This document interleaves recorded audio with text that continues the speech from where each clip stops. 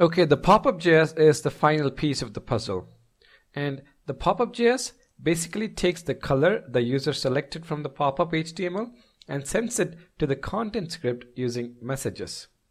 And the content script then reads this message and changes the font color accordingly. So let's see how to do that. We're going to create a new file called popup.js. So popup.js.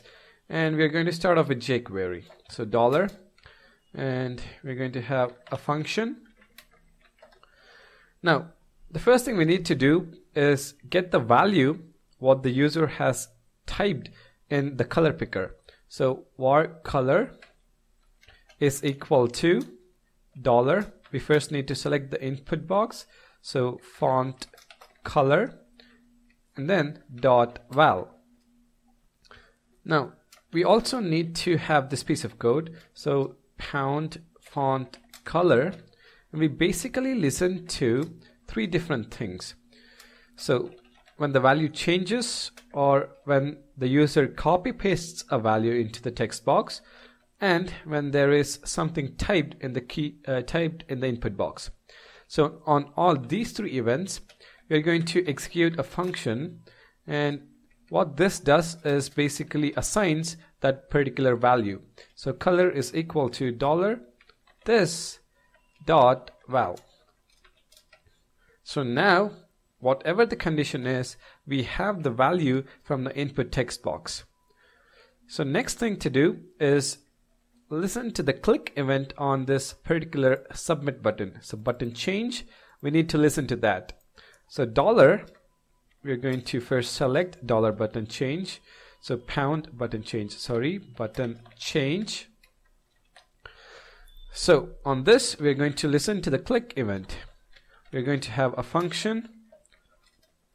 So what we're basically doing is sending a message to the tab from where we clicked this particular button. So chrome dot tabs dot query and we can specify the options. So active so active tab true and it should be in the current window. So current window true.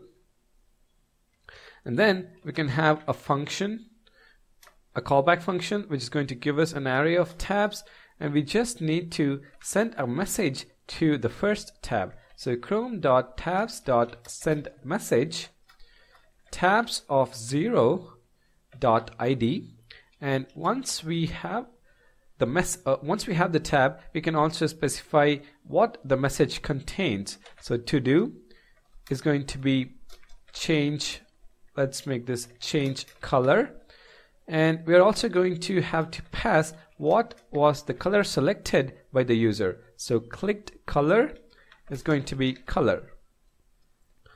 Alright now we have our pop-up JS ready so let's save this and go back to our content.js where we are going to listen to that particular message. So chrome dot runtime dot on message dot add listener. So we're going to have a function and if you remember it's going to have a request, a sender and a send response. Excuse me. So when we have the request, we check if it is asking us to change the color. So if request.todo is equal to change color, then we are going to first concatenate the value with hash so that we have a valid hex code. So this is going to be equal to hash plus request dot clicked color. So if you see here we have clicked color that is sent. So that clicked color over here. Now we can go ahead and add this color to any class or any particular tag we want in our web page. So over here if you have a look the entire article body is in a class called API so let's change the color in class API so API and I'm just going to say dot CSS we're going to change the color and this is going to be add color. All right. And that's it. Our extension is now completed. Let's reload this and test it one last time. So I'm going to go to our extensions page and reload the extension. So reload this. Let's refresh it. Right. So we have this uh, particular blue color from the CSS and if I click on this and select let's say green and click on change there you go all the font is now green and let me change this to red and click on change all the font is now red so this is the basic idea how you change the CSS or basically style on a web page using content script. Now I just changed the color but you can basically do anything you want with this.